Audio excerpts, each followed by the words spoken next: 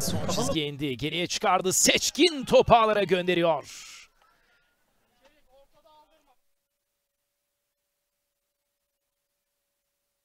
Uzaktan efsane bir gol. Akın. Akın derinlemesine pas. Hüseyin ceza alanına sokuldu. Geriye çıkardı Soner.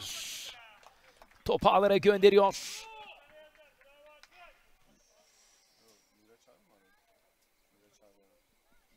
Şimdi sağ çaprazdan sokuldu Ahmet. Topu ağlara gönderiyor. Ali. Kemal. Orta geldi. Uçarak attı Seçkin. Burak cezaların içinde.